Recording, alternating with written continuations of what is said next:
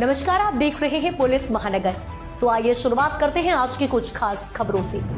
महाराष्ट्र के सिंधुदुर्ग में छत्रपति शिवाजी महाराज की मूर्ति गिरने की घटना पर सियासी पारा चढ़ा हुआ है। विपक्षी लगातार पीएम मोदी और बीजेपी को घेर रहा है। इसी कड़ी में शिवसेना यूबीटी सांसद संजय राउत ने भी मुंबई में मीडिया से बातचीत के दौरान निशाना साधा है। उन्होंने कहा कि हर चीज़ के पीछे देवेंद्र फडणवीस ही मास्टरमाइंड है और महाराष्ट्र में यही समस्या है। ये बात पूरा देश और पीएम मोदी जानते हैं। यही वजह है कि उन्हें माफ़ी मांगनी पड़ी है। लेकिन सवाल ये क्या सिर्फ़ माफ़ी मांग लेने से मामला सुलझ जाएगा? संजय राउत ने आगे कहा कि केवल सात महीने में छत्रपति शिवाजी महाराज की प्रतिमा ढहेगी तो क्या हम चुप रहे? हम आज शिवाजी महाराज के सम्मान में विरोध प्रदर्शन करने जा रहे हैं। राउत ने कहा, देवेंद्र फडणवीस, आप महाराष्ट्र के खलनायक हैं।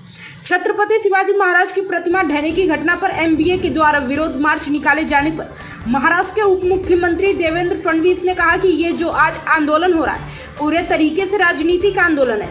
इन्होंने कभी भी छत्रपति शिवाजी महाराज का सम्मान नहीं किया। आप मुझे पंडित नेहरू और इंदिरा गांधी का लाल किले से एक भाषण दिखाइए, जिसमें उन्होंने छत्रपति शिवाजी महाराज का उल्लेख किया हो। पंडित नेहरू तो अपनी भारत की खोज किताब में भी छत्रपति शिवाजी का अपमान किया। क्या उसकी माफ़ी कांग्रेस पार्टी और महाविकास आघाड़ी मांगेगी? उप मुख्यमंत्री देवेंद्र फडणवीस ने आगे कहा कि मध्य प्रदेश में जब कांग्रेस की सरकार में कमलनाथ मुख्यमंत्री थे, तब छत्रपति शिवाजी महाराज का पुतला बुलडोजर से हटाया गया। क्या कांग्रेस उसकी माफ़ी मांगेगी? कर्नाटक में उनके कार्याध्यक्ष ने छत्रपति शिवाजी महाराज का पुतला हटवा दिया। क्या कांग्रेस उनसे माफ़ी मांगेगी? अब तक की खबरों में बस इतना ही। ऐसे ही खबरों के लिए बने रहें हमारे साथ। तब तक के लिए नमस्कार।